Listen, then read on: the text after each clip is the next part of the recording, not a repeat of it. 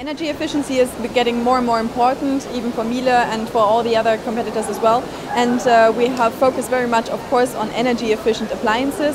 And we picked out two appliances here at the back. We have here a dishwasher as an example and a tumble dryer. This is a heat pump tumble dryer, which is the fastest and the most efficient, energy efficient tumble dryer in the world right now.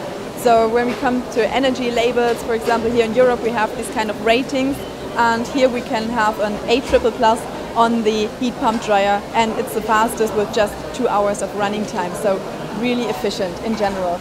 And on the other side you have a solar save dishwasher with a program which is called solar save. So here you can combine for example the dishwasher and also there we have a tumbler dryer which you can combine with the solar energy. So you can use your heated warm water from the solar panel in the dishwasher and on the tumble dryer to perform very well. And for example, when it comes to numbers, and we are talking about energy efficiency, so in a dishwasher, for example, with a safe program, we can save up to 90% of energy. In a tumble dryer, when it comes to comparison with a normal heat pump dryer, it's 60% less energy. So really very low consumption when it comes to electricity. And that's good for the cost as well, so you save money.